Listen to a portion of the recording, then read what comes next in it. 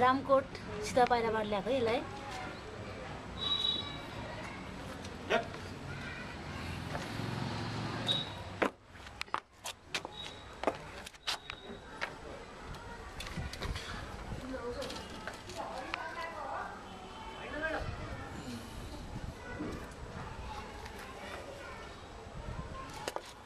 Sir यतै बस्नु न।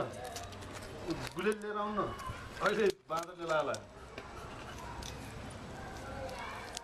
बाँदर घेरिसकेका छन्। छिटो ल्याउनु न। यस्तो। एट्याक गर्छ अहिले।